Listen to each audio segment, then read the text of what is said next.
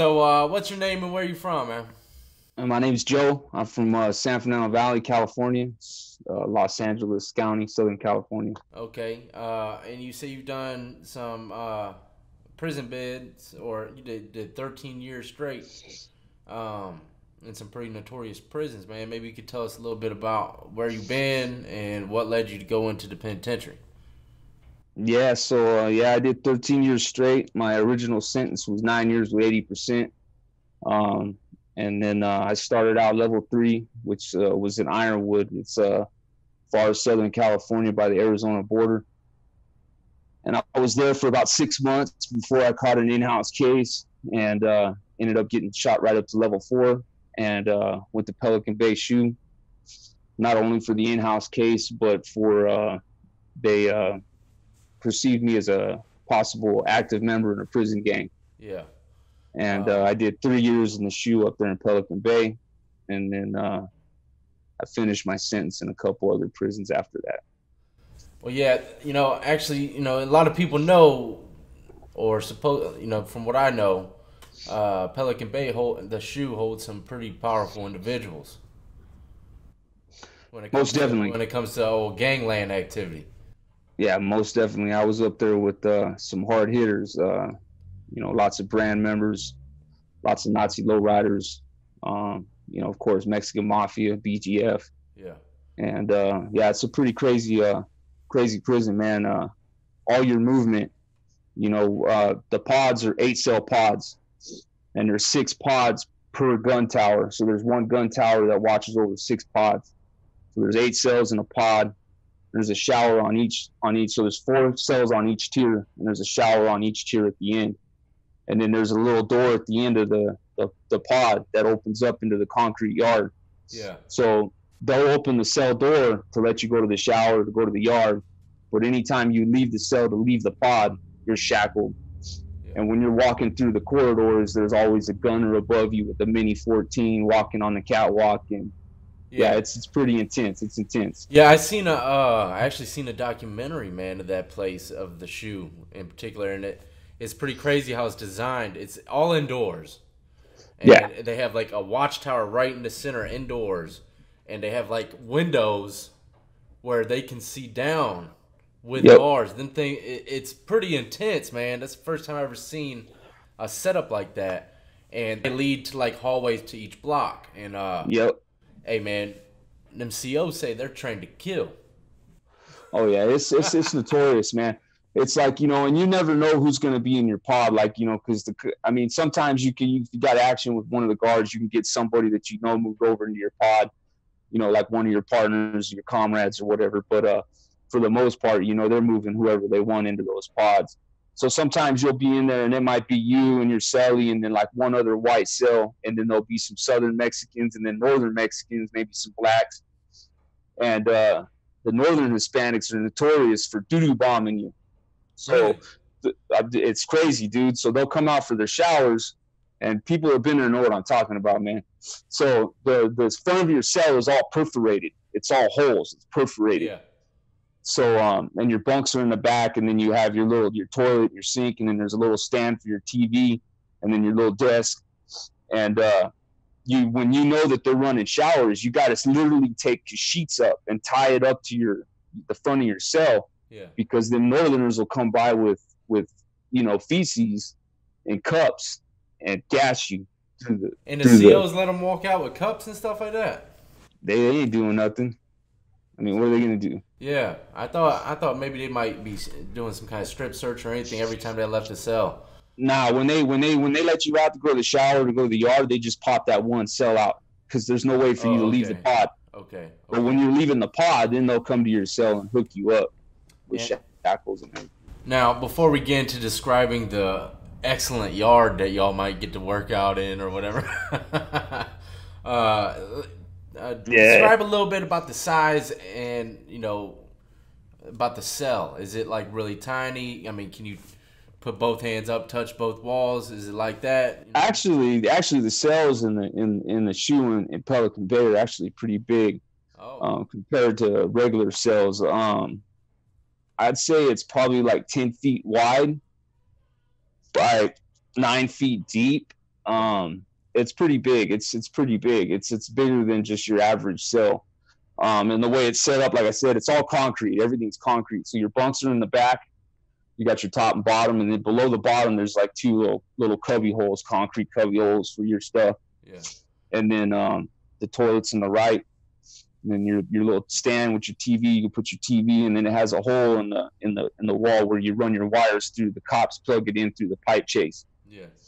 Yeah. Yeah, you don't have access to the outlet. You know what I mean? What kind of channels they let y'all get in there, man? Was it uh, the basic thing, or was it? Yeah, basic, minimal? basic, basic local channels. The, the channels weren't that great, and because uh, it's in Crescent City, so there's not a whole lot going on up there with Crescent City. Yeah. And then um, they, you know, they play the institutional movies and stuff like that. You know. Oh, that's hard. I didn't know they did that all the way over there. Actually, that's one thing I didn't know, or even care to ask about institutional movies. I remember when I was in uh, this one prison, man. They played in every prison. Every weekend they would have some movies playing.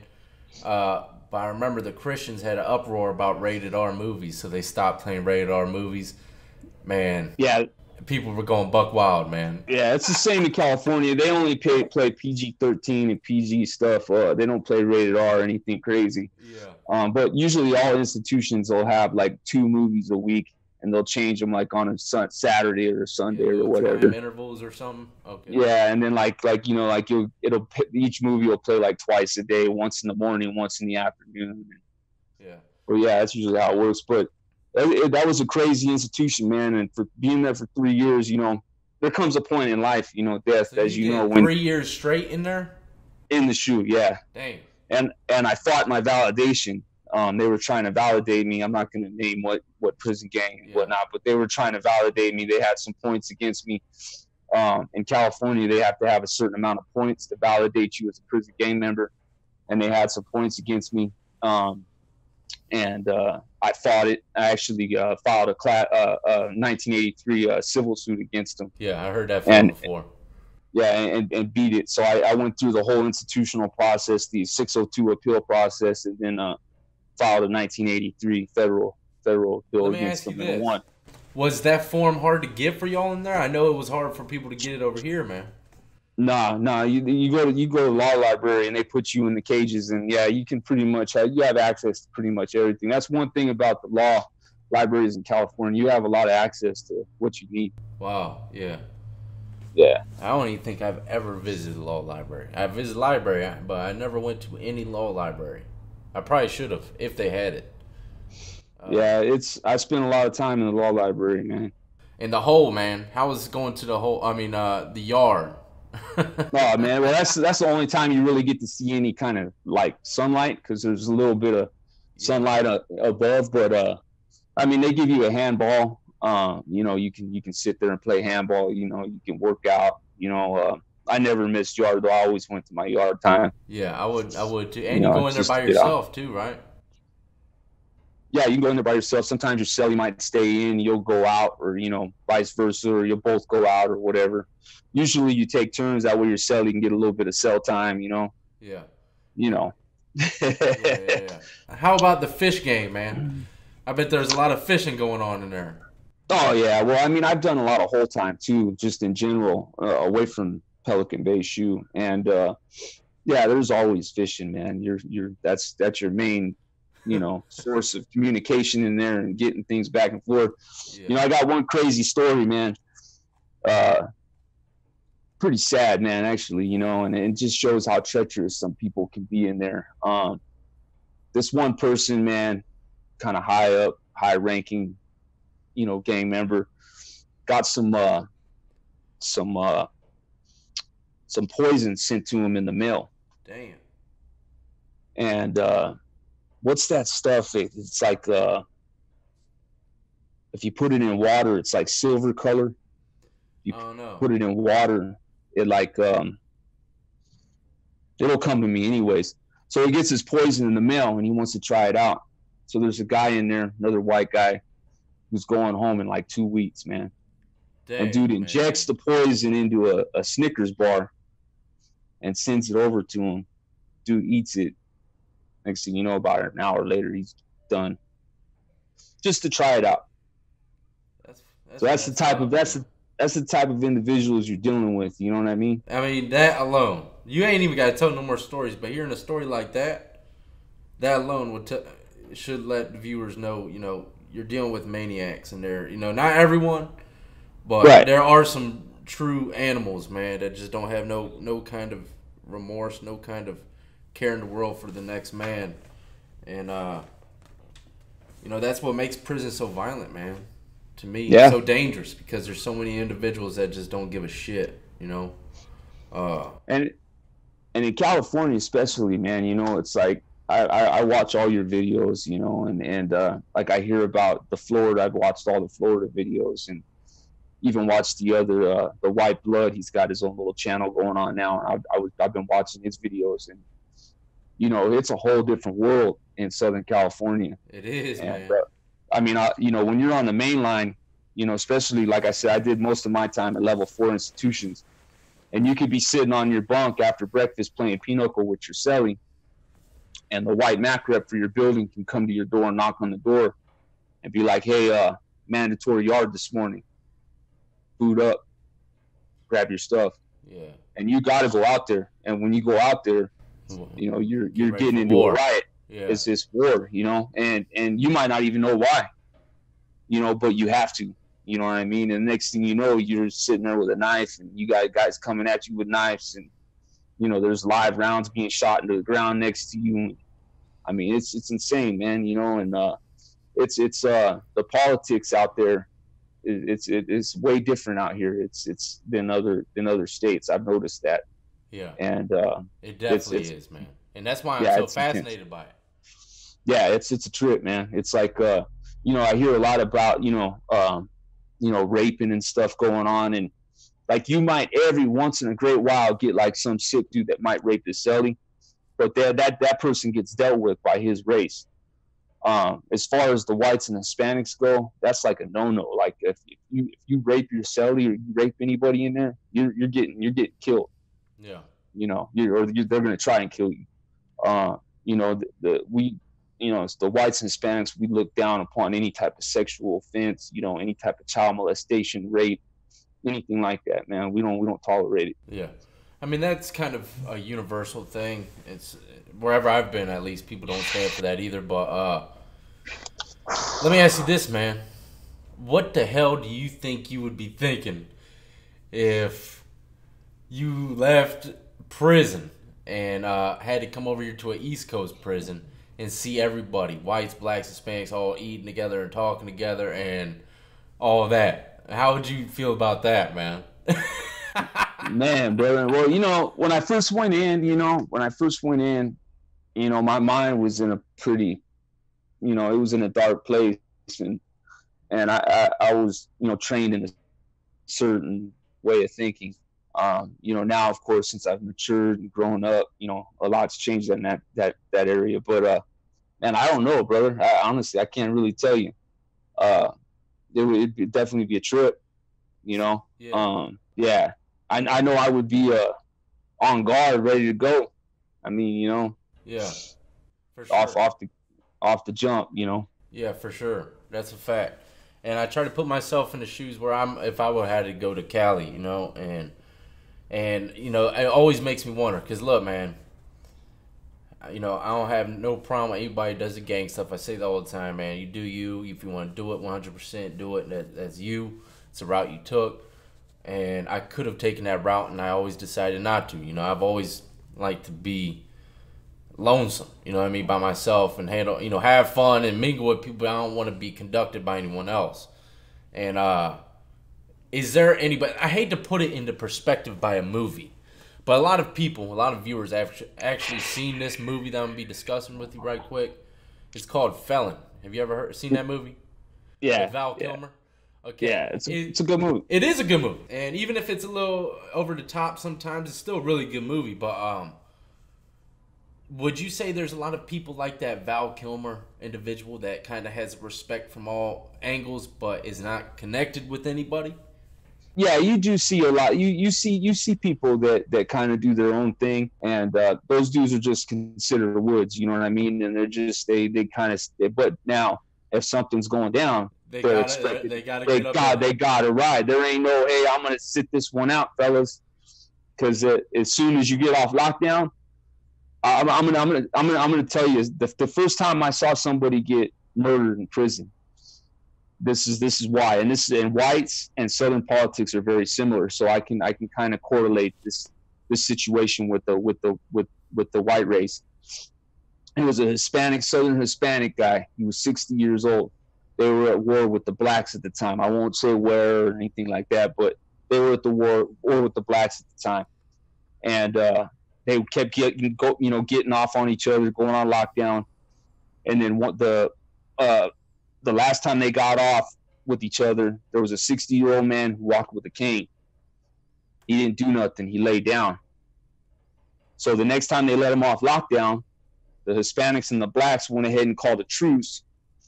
Word went around to the white guys, hey, the Hispanics, the Southern Hispanics, can be dealing with one of their own today on the yard. Just, you know, keep your eyes open. The 60 year old.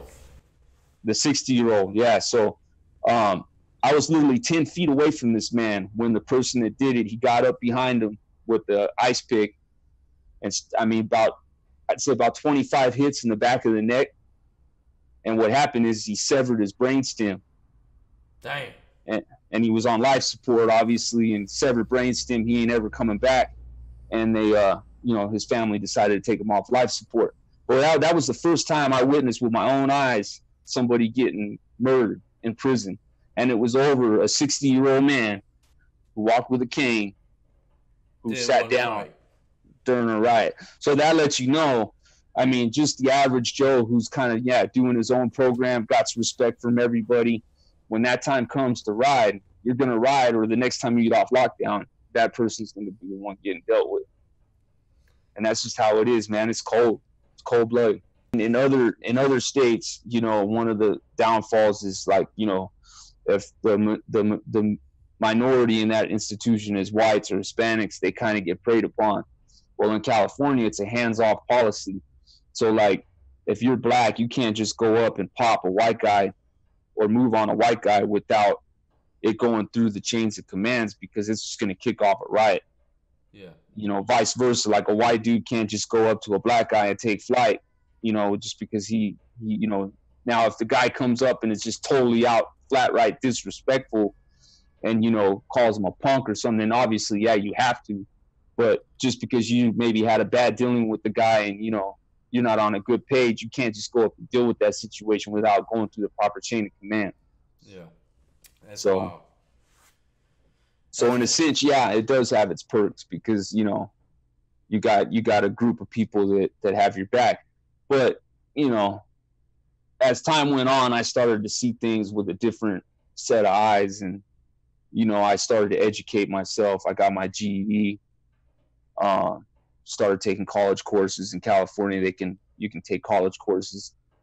Was and uh, by the time you were about to go home, you knew you had to kind of change the mind frame out. Yeah, yeah. It was it was probably about three years prior to me going home that I started really just uh, focusing, man. And I got a paralegal uh, degree, and uh, damn, I just I started washing my hands of everything, man, because uh, you know, it was just, uh, you know, it was like, what what cause were we fighting for? You know, I mean, seriously, you know, what cause are you fighting for? You know what I mean? And and you, you see you see the treachery. You know what I mean? And um, I mean, you don't. What you don't. What do you not see though? You don't see any kind of future out of this shit. Nah, there's no future. There's no true. there's no true camaraderie. There's no true brotherhood. There's no, you know, it's all, it's all. Uh, it's all a, a facade. You know what I mean? Yeah. Everybody's it's a facade. Anybody has the ability to to to inflict bodily injury upon somebody. Man, it doesn't take much to do that. Um, and that doesn't make you a man. You know what I mean? That doesn't make you uh, a good person. And uh, you know, I just started to realize all these things and um, decided, you know, I don't want to spend the rest of my life in a box. You know what I mean? Yeah, and uh, for sure. So, you know, I mean, I've got stories for days, brother, of, you know, murders and, you know, them going in after they get the guys out of the cell and them finding the guy wrapped up in a sheet with his teeth all over the cell and, you know, words written on the walls and the guy's blood and I mean there's just you know there's there's I mean there's so many things that I've witnessed over the years. I mean right before I came home, one of my good friends, uh, I won't say his name, but uh, he hung himself after a visit, and through the crack of my door I could actually see his cell. And my cellie woke me up and he's like, "Hey, so and so hung himself." And I'm like, "What?" And I got off my bunk and I looked. I literally could see my partner hanging from the vent, you know. And then when they wheeled him out on the gurney, they didn't even cover him up. So they wheeled him right by my cell to take him out the side exit. And I mean, I to this day I see his eyes, you know, his black, you know, black, just black sockets, you know, and his face just, you know, and it's something the things that I've witnessed and see, you know, and, and, and seen over the years. Kira, come here, come here, come here. Sorry. Kira, come here. Come here. Come on. Um, the things that I've seen and and witnessed, you know, for gosh, the first four years, man, I had nightmares. I mean, I, have hit my wife in the face in, in, my sleep, you know, swinging from nightmares and stuff. At you least know? you were sleeping, man. yeah, no, right. But uh, you know, I man, no, no, that's yeah, she'd hit me back if I wasn't sleeping. Yeah. Um, but you know, I, am married now, man. I, I came home on a Saturday, and on that Monday, I started working, man. And I've, I haven't amazing, stopped grinding. Man. I haven't stopped grinding since, bro. I came home July 30th of 2010, and uh, I haven't stopped grinding while, since. Man. You've been a while. Oh yeah, yeah, man. Excellent, yeah. man. I love to hear that, man. Uh, yeah, yeah. Um, I got. I had a three-year parole tail, high power, high control parole and uh, I ended up getting off in two years because I did so good. That's and my parole up, officer, my parole officer liked me so much and respected me so much, and uh, he knew what I came from and what I had done. You know, I mean, they see your file, they know, you know, they know what goes on in that shit, man. Yeah, they they know what time it is. They know what you've done and where you've been and what you've seen, and and you know, and he was impressed with the fact that I got out and I made change and I didn't go back and uh, yeah, he let me off after two years, discharged me, and uh, yeah, it's a good feeling, man. It's a good feeling to be away from all that. That was one of the best damn feelings of your life, wasn't it? Oh yeah, man. Discharging that number. Oh my! I can God. still remember it. P zero five six one three. Me too. Man. Look, I'll never forget the damn day they released me from probation papers, man. It was. I swear, I, I can't even begin to put into words, but it felt like I was reborn. I was actually a free man. I fear I Most seriously definitely. felt like I was in some kind of bondage in chains, man. Uh, yep. That's no way to live life, even if you're out here in the streets. I mean, it's better than prison, but I mean, shit, you got to ask to just leave a damn state. You know, uh, it was pathetic, and that's that's a horrible way to no. live. But uh, no, it is, man. Congratulations, man. You've been out longer than me. yeah, I've been out for a minute, man. I've been out for a minute, man. Yeah, yeah, it's a, it's a good feeling, man. Uh, you know, it's me and my wife. We, you know, we have our kids. Are they're they're they're all older now. Um, my wife's son, my stepson's 18, and then I have a 23 year old that was uh, conceived when I was 15. Damn. yeah. So uh, you know, and he's he's kind of going down his own little path right now and doing his thing, you know, and he's gonna have to learn the hard way, unfortunately. Yeah. But uh, sometimes you know, I it's, do, man. You know, it's sad yeah. to say, but you know, and that's number one thing parents need to get through their mind. You know, they're gonna do what they do. You know, regardless. Yeah, I mean, that's how it is. But uh, before we go, man, I appreciate you coming on the show. If there's any good piece of advice you'd like to tell to the youth about anything, man, uh, what would that be? Yeah, I'm I'm just gonna put it like this, man, and and this might be a little long winded, but uh, you know, I I I grew up uh in a in a in a pretty bad environment. You know, my mom left when I was two because she was a dope fiend. My dad left. Uh, I was raised by my grandmother. God bless her heart. She just passed away in August of last year. I'm sorry to hear. Um, thank you, brother. And um, you know, I ran away from home at the age of 12 and started my my journey down the juvenile system. And uh, you know, and then at 18, you know, I went in years, and you know, it's not worth it it's not worth it. You know, the gang banging, the drugs, you know, the fast money, the, you know, the quick women. It ain't worth it, man. you know, it ain't worth it. What's what's worth it is, you know, making that honest money, working hard, grinding, doing what you need to do, you know, meeting that good woman that's gonna take care of you and that's gonna love you and have your back. And uh, you know, if you do find yourself in prison, man, just uh you know, I, I steer you away from it and you know, and I, I pray that whoever's watching this that may be having these these issues in life know that you can change and you just gotta want to do it from within.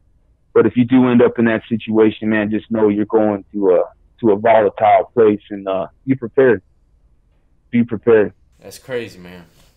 Well, look, I appreciate you coming on to the show, man. If you feel the need to want to come back on, uh, you're more than happy, man. I got a feeling my viewers will want to have you come back on and tell a few more stories, probably, man. You're a real one. I salute to you, my friend.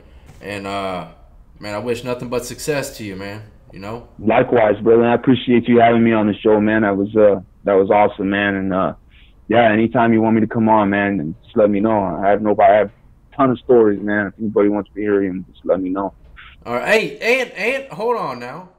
All I right. I just remember you. Were you the one to say you got a YouTube channel too? Yeah, I, I want to start a YouTube channel up. Yeah, that's uh, right. That's it's right.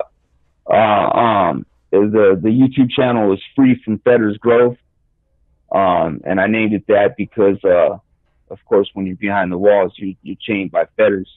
Yeah. So free from Fetters Grove is my YouTube channel, and I'm then gonna, uh, your your sound went down again, but it's all good. I'm just gonna leave your channel linked in the comment section below. It's called uh, Fetters what released from Fetters Grove.